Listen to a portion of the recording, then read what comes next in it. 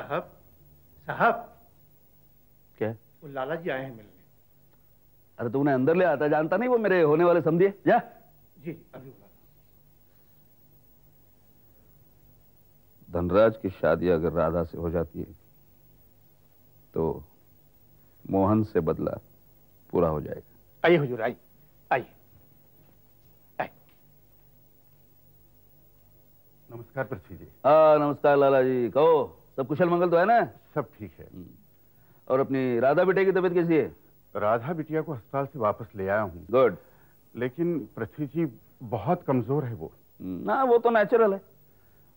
मैं राधा बिटिया की हालत देख के ये सोच रहा था कि ये शादी कुछ दिनों के लिए मुलतवी कर दी जाए।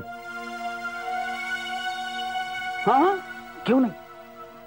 लेकिन क्या लाला जी, ये शादी अगर सिर्फ़ आपकी बेटी राधा की होती ना तो मुझे क्या दिक्कत थी? यार ज़िंदगी भर उसे अपने घर पे बिठाए रखो, मुझे क्या फ़र्क पड़ता? है समझे ना आप?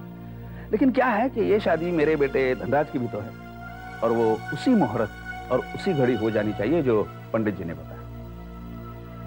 मैं सिर्फ़ चंद रोज की बात कर रहा हूँ। आप समझ नहीं रहे हो इन चंद दिनों में काफ़ी कुछ हो सकता है, और वो मैं नहीं चाहता। और हाँ अगर तुम्हारे दिमाग में कुछ उल्टा सीधा चल रहा है तो उसे अपने दिमाग से निकाल दो। क्योंकि मेरा रसूख और मेरी ताकत क्या है इससे तुम शायद अच्छी तरह वाकिफ मैं अच्छी तरह वाकिफ मैं भला ये कैसे भूल सकता हूँ? क्या आपका रसूख न होता? तो मेरे प्लान की परमिशन कैसे होती? लाला जी वो तो मेरा रसूख था लेकिन मेरी ताकत इतनी है कि उस परमिशन को मैं कैंसिल भी करवा सकता और उसके बाद इस शहर में बिज़नेस करना तो क्या?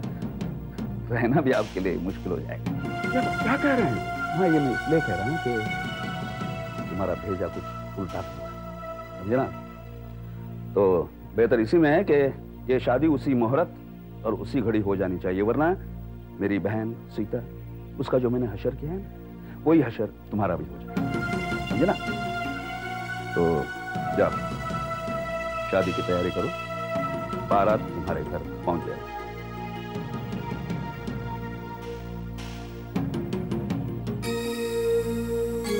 जाओ जाओ। हाँ नमस्ते।